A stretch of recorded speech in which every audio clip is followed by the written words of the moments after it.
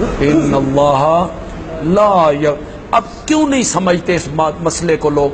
علماء نے تو سمجھانا چھوڑ دیا ہے۔ علماء سارے مسئلے بیان کریں گے۔ آپ علماء کی تقریریں سنتے رہتے ہیں، فیس بک پہ بھی آپ سنتے رہتے ہیں۔ وہ آپ کو سارے فضائل سنائیں گے، سناتے رہیں گے۔ مجال ہے توحید کا نام لیں۔ مجال ہے اللہ کی الوحیت کو بیان کریں۔ مجال ہے لوگوں کو بتائیں کہ شرک کیا ہوتا ہے۔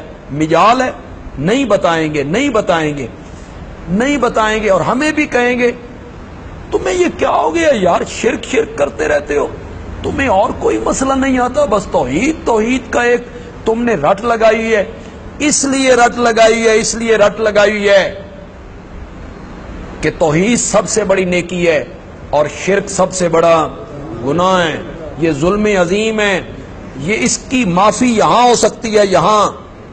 آپ جتنے لوگ بیٹھے ہیں، آپ ہر نماز کے بعد یہ دعا مانگا کریں کہ یا اللہ، جو شرک میں نے دانستہ کیا اور جو شرک کو بدت میں نے نادانستہ کی، مجھے پتہ ہی کوئی نہیں اور مجھ سے شرک ہو گیا ہے۔ مولا، میں ہر شرک سے معافی مانگتا ہوں۔ یہاں علاج ہے، یہاں یہاں ہے علاج اس کا۔ ستر سال تک شرک کرتا رہا، اسی سال تک شرک کرتا رہا۔ پھر مسئلہ توحید کی سمجھ آ گئی۔ اس نے شرک چھوڑ دیا، توبہ کر لی۔ اللہ کہتے ہیں، ایسے کر دوں گا جیسے آج ماں کے پیٹ سے باہر آیا ہے۔